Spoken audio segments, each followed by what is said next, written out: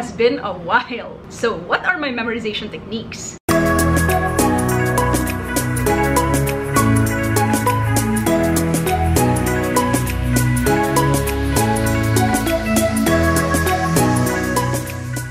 Hi guys! Welcome back to my channel. I'm Tina and it has been a while. I apologize for being gone for around a month now, but it's really just because work has been killing me. Yeah, you will find that in legal practice, sometimes even if you want to do it all, do well at your job, exercise, drink enough water, eat your vegetables, spend time with your family, indulge in your hobbies, maintain a social life, sometimes it's just impossible to do it all and that's totally fine. Sometimes other things have to take a backseat to what you have to prioritize right now. So yeah, for the past month, what I really needed to prioritize was work. Thank you to everyone who has been leaving me such sweet messages and comments. I really, really appreciate your support. Thank you so much for understanding. Now, I'm back! Yay!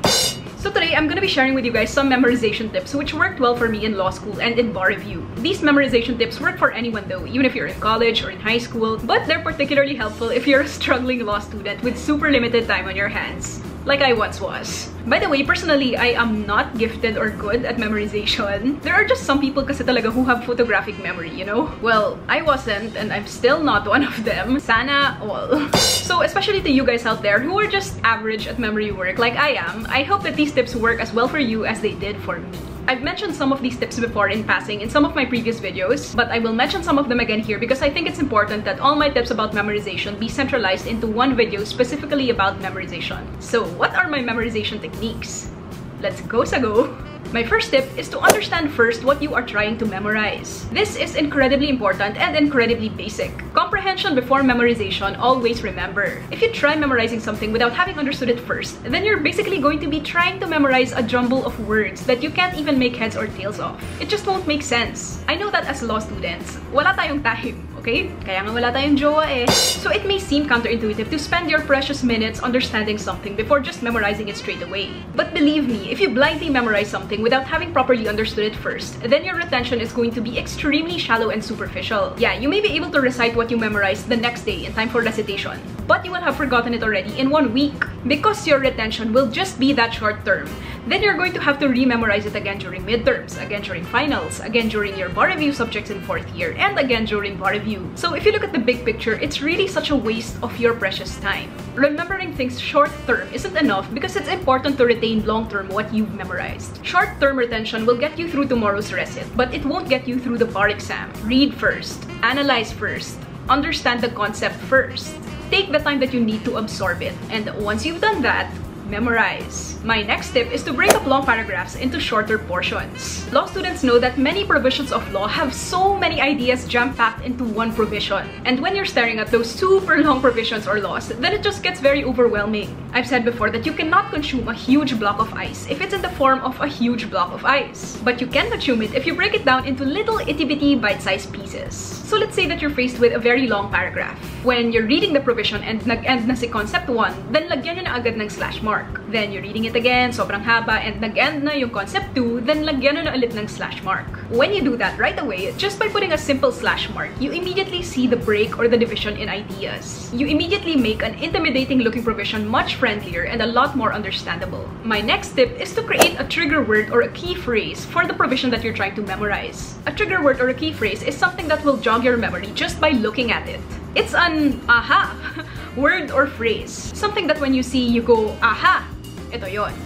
For example, for Article 19 of the Civil Code, the key phrase that I would use is exercise of rights. For Article 20, it would be willful or negligent damage. For Article 21, it would be willful loss or injury. We all have different styles or preferences for creating our trigger words or our key phrases, right? So I won't tell you how you should come up with yours. What I'm telling you is that you should have them. You should definitely have trigger words or key phrases for the provisions that you're trying to commit to memory. Now, once you've identified your trigger words or your key phrases for the provisions that you're trying to memorize, then list them all down on a separate piece of paper or on a separate document in your iPad. In that list, don't write anything except for number one, the provision number, and two, your trigger word or your key phrase. This will be your master list of provisions and trigger words or phrases. It should be very simple and look something like this. That master list is very useful for quick recall purposes. As in, you glance at it and you know. Parang true love lang yan. it's something that you can use for recit when you're supposed to recall what you memorized in a split second. You can also use it as a reviewer for your exams. My next next tip applies to when you have to memorize the general rule and the exception. Use a distinct color or symbol to mark the general rule,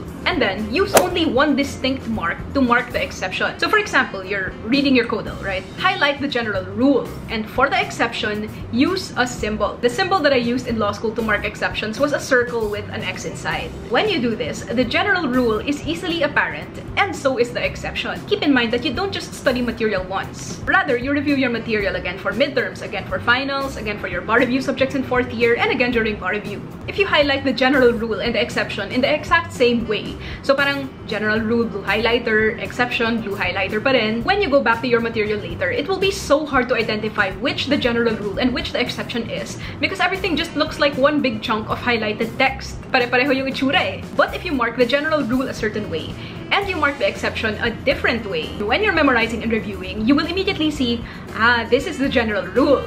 Ah, these are the exceptions to that general rule. Kita mo na agad. My next tip is to read aloud what you are memorizing. Scientific studies suggest that you are more likely to remember something if you read it out loud. So as you're memorizing, mouth what you're memorizing to yourself read the provision out loud to yourself as you're memorizing it. Just be considerate of the other people around you who are trying to study too, so bawal maingay. The thing that helped me do this in law school and in bar review was earplugs. This is because when you wear earplugs, you can hear yourself even if you murmur something to yourself very, very softly. If you don't wear earplugs, then just to hear yourself over the ambient noise in Starbucks or in the library, then you're going to have to raise your voice. That's annoying to the people around you. Don't be that annoying law student. Yeah, earplugs are super underrated. I got mine at True Value. My next tip is to repeat, repeat, repeat, repeat, repeat, repeat. Read the material that you're supposed to memorize again and again, over and over and over. It's been well established that repetition is the key to memory. So read and repeat and reread and repeat. Do it as many times as you have to and as much as your time allows. Pounding your brain with the same information again and again, over and over, definitely helps with retention. If audio codals work for you, then you can also use those. You can just play them over and over while you're doing your other activities like driving or exercising. Also, if you need to memorize a bunch of provisions, then I recommend that you master first the one provision that you're memorizing now before moving on to the next one. If medyo hilaw pa yung memorization mo of the current provision, then don't go on to memorize the succeeding one yet. You'll just get confused. Promise. So go one by one. My next tip is to write and recite. To really lock in what you're memorizing, it greatly helps to number one, to write down what you're memorizing and to recite to yourself what you're memorizing. You can write and recite as you're memorizing or you can also do it after to test yourself. To write, literally all you have to do is to get some scratch paper and to write down what you're memorizing or what you've memorized. Yes, scratch paper talaga yung ginamit ko dati. Wala nang notebook-notebook.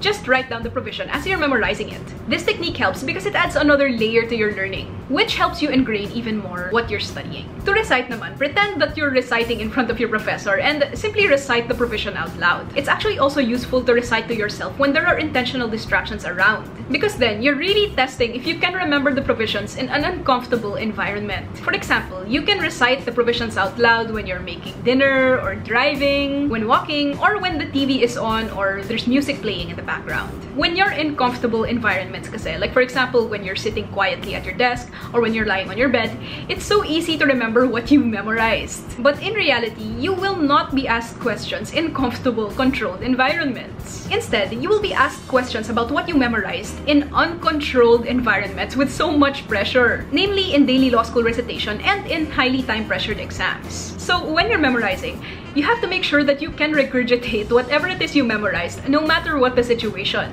whether it's in your bedroom or in your classroom. Test yourself in distracting situations so that you can be sure that you will remember what you memorized in distracting situations. Writing and reciting to yourself what you've memorized actually ties in with my earlier tip about repetition. We've already established that repetition is great for attention, right? When you write and recite to yourself when you memorize, you are actually repeating to yourself what you're learning in verbal and in written format.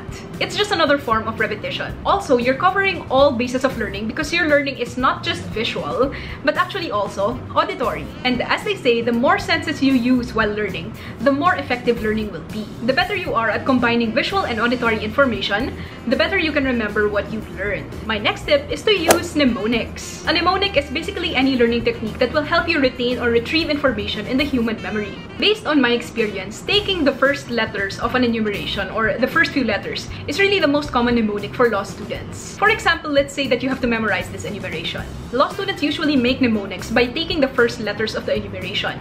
So here, it would be LCQAQ. You could also rearrange it so that it's catchier, so it could be clack. If you find that random jumble of letters difficult to memorize, you can also add in the next few letters of the enumeration. So here, it would be La, Ko, Q, Ak, Q. To make it even catchier and easier to remember, you can even rearrange those mnemonics to form something easier to say. For example, Akola Q2. You can even take it a step further by creating a story for your mnemonics. Your story doesn't even have to make sense. In fact, sometimes when the story is so outrageous, that makes it even easier to remember. For example, here your story could be Lazy condors actually quack quack. It sounds funny, right? Pero aminin nyo, naalala nyo. Some people say that for better attention, you should make mnemonics which are special to you or which have some sort of meaning for you. For example, yung lazy condors actually quack quack. But honestly, what law student has time for that? Minsan wala nga tayong time maligo eh.